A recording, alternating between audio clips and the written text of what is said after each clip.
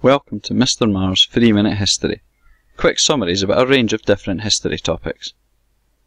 Today we're going to be looking at the biggest city in Scotland and considering a brief history of Glasgow. The city, which literally translates as Dear Green Place, is a significant part of Scotland's economic, social and political history.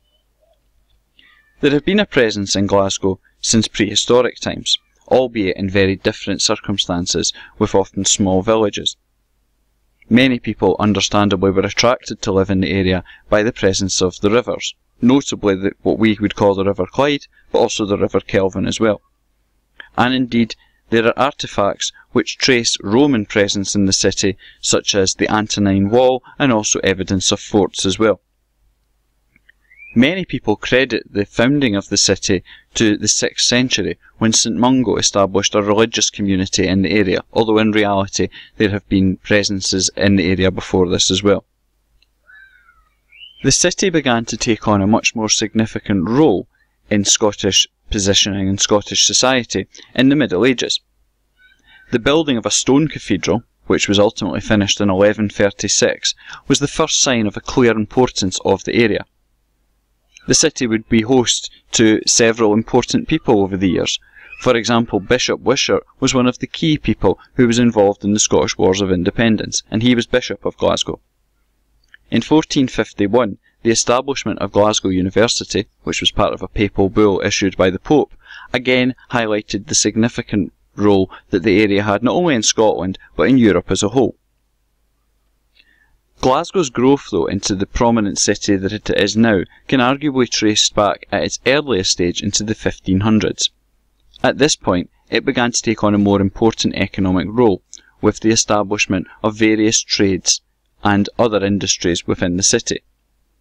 What really brought about Glasgow's growth, though, was that of transatlantic trade. After the so-called discovery um, of European people going to the New World of the Americas, Many European countries saw this as an opportunity to begin building their trade links. Initially, the Scots tried to do so as an independent country, although these schemes ultimately failed. However, after union with England in 1707, this saw huge opportunities come Glasgow's way, including, it has to be said, as part of the Atlantic slave trade. Many people in Glasgow were involved in selling products such as tobacco, and this involved using slaves. This, however, although it obviously created huge problems for the slaves, brought massive wealth to the city. As well as money coming in, it saw the building of fancy new homes and other buildings across the area. In the 1700s and 1800s, this led to a massive increase in the city's population as more people came into work in issues such as the textile trade and later shipbuilding as well.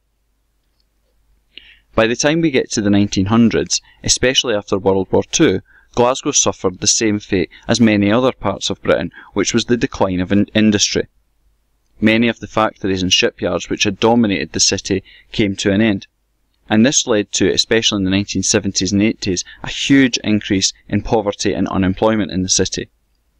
In more recent times, although these problems continue to exist, the city has reinvented itself in different ways.